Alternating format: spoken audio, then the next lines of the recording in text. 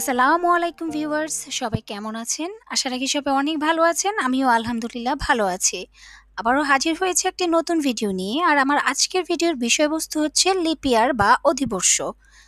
যে বছর ফেব্রুয়ারি মাসে উনত্রিশ দিন থাকে, সেই বছরটাকে লিপিয়ার বলা হয়। আমরা অধিকাংশ মানুষ এটাই জানি, কিন্তু লিপিয়ারের গল্প এইটুকুই শেষ নয়। আপনি জানেন কি লিপিয়ার কি লিপিয়ার কেন হয় লিপিয়ারের প্রয়োজনীয়তা কি? জানতে হলে দেখতে থাকুন ভিডিওটি। তার আগে যারা আমার চ্যানেলে নতুন, তারা অবশ্যই চ্যানেলটিকে সাবস্ক্রাইব করবেন। পাশে থাকা নোটিফিকেশন বেল আইকনটি প্রেস করে নেবেন। পরবর্তী ভিডিওর নোটিফিকেশন সবার আগে পাওয়ার জন্য। আর যারা ইতিমধ্যে সাবস্ক্রাইব করে নিয়েছেন, তাদেরকে অসংখ্য ধন্যবাদ। শুরু করব মেইন আলোচনা। গ্রেগরিয়ান ক্যালেন্ডার অনুযায়ী চার বছর পর পর ফেব্রুয়ারি মাসে অতিরিক্ত একটি দিন যোগ করে আমরা তাকে অধিবর্ষ বা লিপিয়ার বলি। আসলে আমরা বছর গণনা করি তিনশো পঁয়ষট্টি দিনে।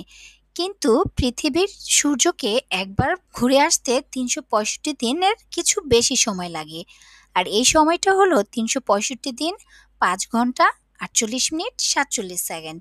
অর্থাৎ আমরা প্রতি বছরে কয়েক ঘণ্টা কম হিসেব করি। এই কয়েক ঘণ্টার তাহলে কি হবে?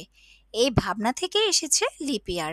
প্রতি চার বছরে আমাদের এই না হিসেব করার সময়টা মিলে প্রায় একদিন হয়ে যায়। সেজন্য চার বছর পর পর একটা বছরে একটা দিন বাড়তি হিসেব করা হয়। আর সেই বছরে থাকে তিনশো ছেষট্টি দিন।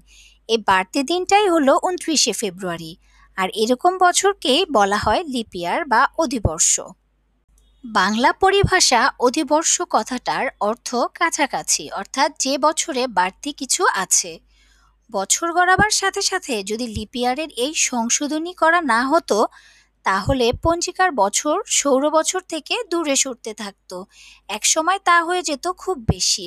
চার বছরে পার্থক্য হতো একদিন, একশো বছরে পার্থক্য হতো পঁচিশ দিন।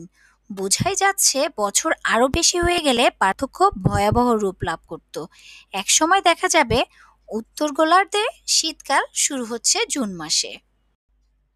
এবার বলুন তো, কোন কোন বছর লিপিয়ার হয়?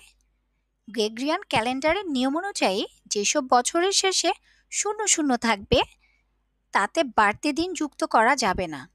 তবে শূন্য শূন্য যুক্ত বছরটি যদি চারশো দিয়ে বিভাজ্য হয়, তাহলে কিন্তু সেটি আবার লিপিয়ার হবে। কিন্তু এই নিয়ম আবার কেন দরকার হলো? একটু খেয়াল করলেই দেখবেন। আমরা আগে জেনেছি পৃথিবীর সূর্যকে ঘুরে আসতে প্রায় তিনশো পঁয়ষট্টি দশমিক দুই পাঁচ দিন লাগে। এটাও প্রকৃত মান নয়। প্রকৃত মান হচ্ছে তিনশো পঁয়ষট্টি দশমিক দুই চার দুই দুই দিন বা তিনশো পঁয়ষট্টি দিন পাঁচ ঘণ্টা আটচল্লিশ মিনিট সাতচল্লিশ সেকেন্ড। ফলে হাজার বছরের ব্যবধানে সেটাও উল্লেখযোগ্য হয়ে দাঁড়ায়। সেজন্য এই নিয়মটি ফলো করা হয়।